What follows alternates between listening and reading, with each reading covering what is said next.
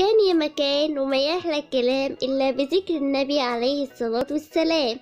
النهاردة هنحكي قصة الأسد المغرور والفار الصغير. كان في غابة جميلة وفيها صحاب كتير زي السنجاب والأرنب حتى الثعلب صاحبهم كان طيب. وفي يوم من الأيام راح الفار للأسد وقال له يا ملك الغابة ممكن نبقى أصحاب؟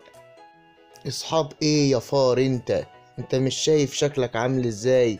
أنا الاسد أنا ملك الغابة أنا بصاحب النمور والاسودة والسبوع وكل الحيوانات الكبيرة انما انت يا فار عايز تبقى صاحبي؟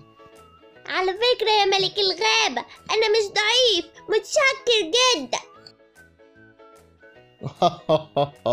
ما عادش الا الفار كمان عايز يصاحب ملك الغابة. وفي يوم من الأيام ظهروا صيادين بيتمشوا في الغابة وهم ماشيين ملقوش أي حاجة يصطادوها. واحد من الصيادين جت في دماغه فكرة وهو بيقول ما تيجي نحط هنا فخ وشبكة كبيرة علشان لو أي حيوان عدى من هنا يقع في الشبكة دي ونيجوا نقتله وناكله ونسلخه. وبدأوا الصيادين يحطوا الشبكة على الأرض عشان يصطادوا أي حيوان.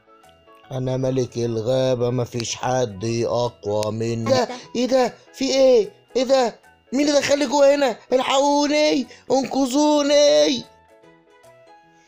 وفضل الأسد يصوت يصوت كتير لكن محدش سمعه. وبعد شوية الفار سمع صوت الأسد وهو بيصوت. طلع يجري على مكان الصوت.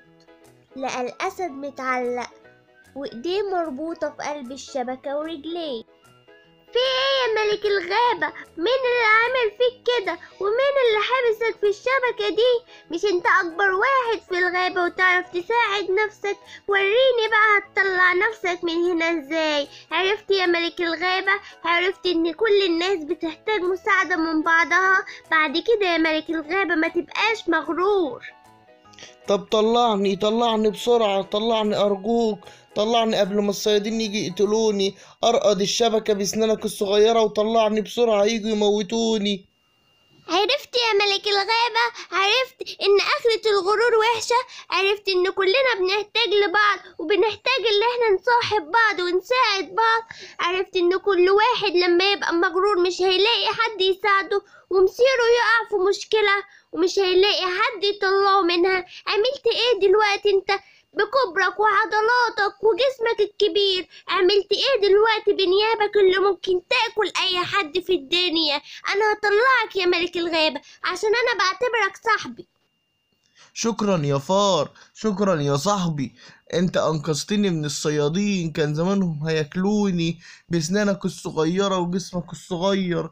فعلا القوة مش كل حاجة. انت أثبتت لي فعلا إن أنا ممكن أحتاج لأضعف المخلوقات.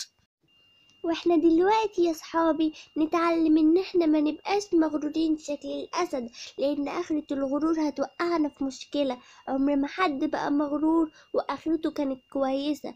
وأي حد عايز يصاحبنا أو أي حد يجي جنبنا لازم نحبه لأن كلنا إخوات ولازم نبقى قلبنا على بعض ونحب بعض أكتر من كده. لأن أي بني آدم مغرور آخرته شر. وأخرته وحشة لكن البني آدم الكويس زي الفار الصغير أخرته حلوة وكويسة ومش بيقع في أي شر.